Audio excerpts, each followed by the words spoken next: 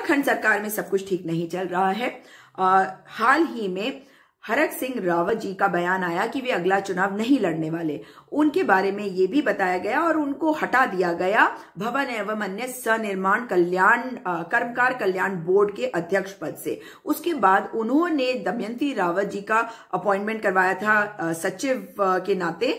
उनको भी हटा दिया गया। सरकार को इन दोनों व्यक्तियों को हटाने के बाद वहाँ पे दीप्ति सिंह, जो पीसीएस है, उन्हें सचिव और शमशेर जी को अध्यक्ष पद पर बैठाया गया। मगर इसके बाद जो अंदर खाने खींचतान चल रही है वो दिखाई दी।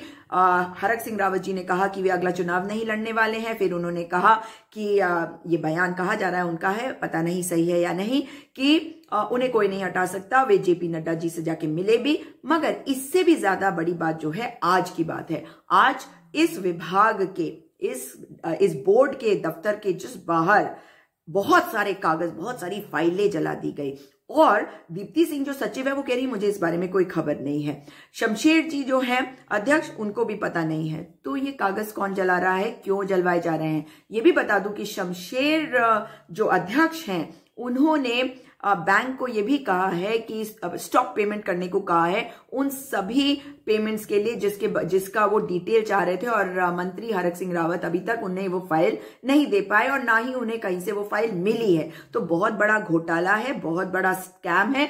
इसमें एसआईटी जाँच होनी चाहिए। इसमें अगर जाँच मैजिस्ट्रियल जाँच करी जाए तो वो और बेहतर होगा, क्योंकि कोर्ट के तहत अगर जाँच होगी, कोर्ट की निगरानी में जाँच होगी तो बेहतर होगा।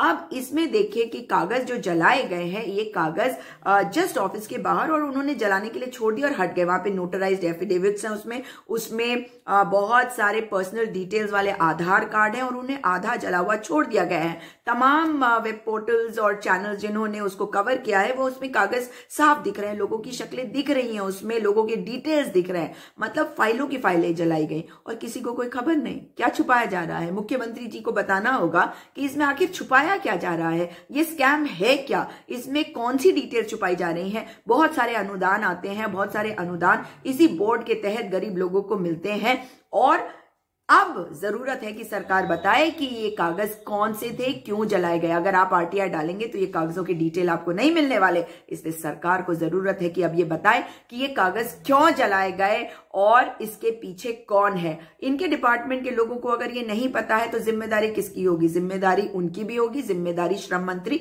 हरक सिंह रावत जी की भी होगी।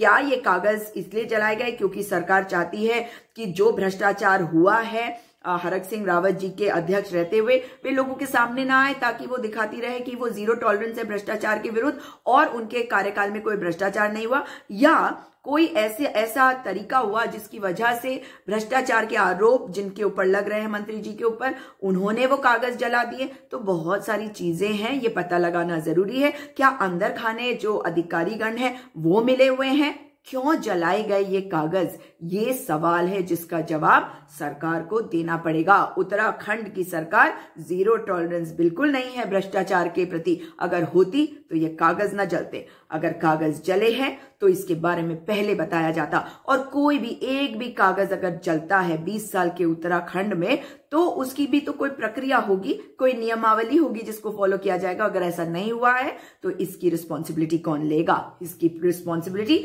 उस बोर्ड के अध्यक्ष, सचिव के साथ साथ उस डिपार्टमेंट श्रम मंत्रालय के मंत्री हरक सिंह रावत और इस सरकार के मुखिया त्रिवेंद्र सिंह रावत है। क्योंकि ज्वाइंट रिस्पॉन्सिबिलिटी होती है ना ज्वाइंट रिस्पॉन्सिबिलिटी तो आपको लेनी पड़ेगी। ये सरकार चल रही है या क्या चल रही है? जवाब दीजिए मुख्यमंत्री जी।